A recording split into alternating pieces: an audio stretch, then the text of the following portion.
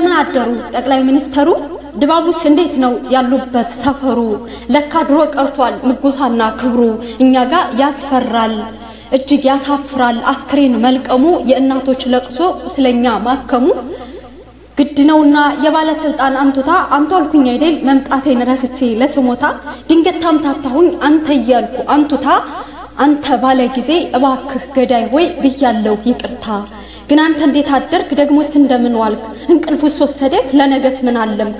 እኛ ግን እምቢ ያለን ቀን ያየነው ስቃይ አልጋችን ጋር መጥቶ የጥይቱ እሩምታ ያማኙ ዋጋታ የገዳይ ቀረርቶ እምቢ ያለን እንቅልፉ አልተኛንም ከቶ።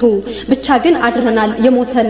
ስንሸኝ በአሸባሪ መንግስት ያጣነውን አማኝ ቁስለኛን ስናክም ከፊላችን በስር በበላይ ጦር ማዘዝ ግን ምን የሚሉት ነው? ለሙስሊሙ ኡማ ለሰጋጅ ጦር ማዘዝ ብቻ አንተ እንዴት አደርክ? ለነገስ ምን አለም?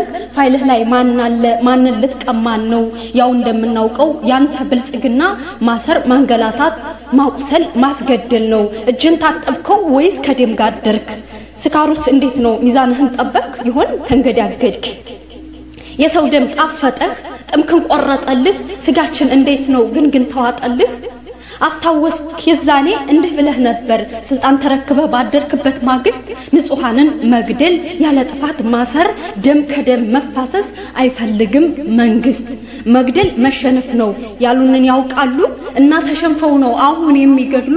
ይህንም ጥያቄ መልሱን እንዲነግሩን ሳያስተባብሉ ያኔ ብለህ ነበር ብሉ ዳቦ በሙዝ ያሉንን ተግብረን በልተን ዳቦ በሙዝ ይኸውና ዛሬ ላኩብን አፈሙዝ።